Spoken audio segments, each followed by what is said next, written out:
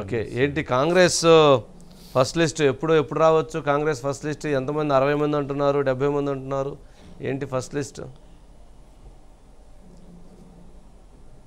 Screening committee చైర్మన్గా ఉన్న మురళీధరన్ కొద్దిసేపటి క్రితమే ఢిల్లీలో మాట్లాడారు సార్. ఆయన మొదటి జాబితా పదిహేనవ తేదీ తర్వాత మొదటి జాబితా ప్రకటిస్తాం. ఇందులో డెబ్బై మంది అభ్యర్థులను ప్రకటిస్తాం. ఆ తర్వాత మూడు నాలుగు రోజుల తర్వాత మిగిలిన అభ్యర్థులను ప్రకటిస్తాం. దీంట్లో అన్ని అవకా అవకాశాలను కులాల వారీగా అదేవిధంగా ఆయా వర్గాలను బట్టి టికెట్ల కేటాయింపు జరుగుతుందంటూ ఆయన మీ- ఢిల్లీలో మాట్లాడారు సార్. దీన్ని బట్టి ఇప్పటి వరకు వారు వే- వేచి చూసింది ఎందుకంటే బీఫాములు బీఆర్ఎస్ ఇచ్చిన తర్వాతనే ఇవ్వాలి. అక్కడ ఆప్షన్స్ అన్నీ క్లోజ్ అయిన తర్వాత టికెట్లు ఇచ్చినట్లయితే ఇందులో టికెట్లు రాని వారు బీఆర్ఎస్లోకి పోయే అవకాశం ఉండదు. వారిని కొంత కట్టడి చేయొచ్చు.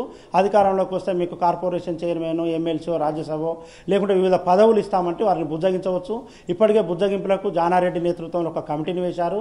జానారెడ్డి పైన ఆ బాధ్యతలు అప్పగించారు. ఎందుకంటే ఆయన కాంగ్రెస్లో కురువృద్ధుడిగా ఉన్నాడు. తెలంగాణలో సీనియర్ నాయకుడు ఉన్నాడు కాబట్టి ఆయన చెప్తే వింటారని కొంత కాంగ్రెస్ పార్టీ భావిస్తుంది. అందుకు అనుగుణంగా ఆయనకు అవకాశాలు కల్పించారు కానీ ఒక్కసారి టికెట్ ప్రకటిస్తే మరి గాంధీ భవన్ ఎలా ఉంటుందో గతంలో గాంధీ భవన్ గందరగోళానికి గురైంది.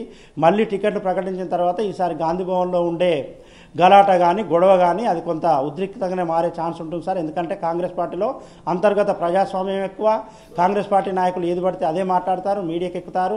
చాలామంది టికెట్లు ఆశిస్తున్నారు. ఈసారి ఒక హైప్ క్రియేట్ అయింది. కాంగ్రెస్ పార్టీ తెలంగాణ రాష్ట్రంలో అధికారంలోకి వచ్చే ఛాన్స్ ఉందని సర్వేలు చెప్తున్న నేపథ్యంలో చాలామంది టికెట్లు ఆశిస్తున్నారు.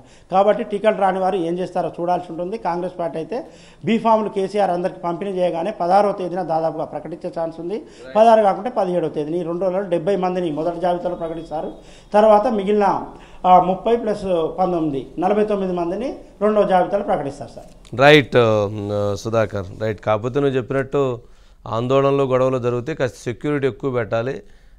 కాంగ్రెస్ పార్టీ కార్యాలయంలో కుర్చీలు పగల కుర్చీలు ఏమైనా ఉంటే ఇనుపగా వాటితో తయారు చేసి పెడితే అయితే ఇరగకుండా ఉంటే ప్లాస్టిక్ కుర్చీలు వరకు నిరిగిపోతుంటాయి. గతంలో చాలా సందర్భాలు కుర్చీలు ఇరగొట్టినటువంటి వాళ్ళు ఉన్నారు.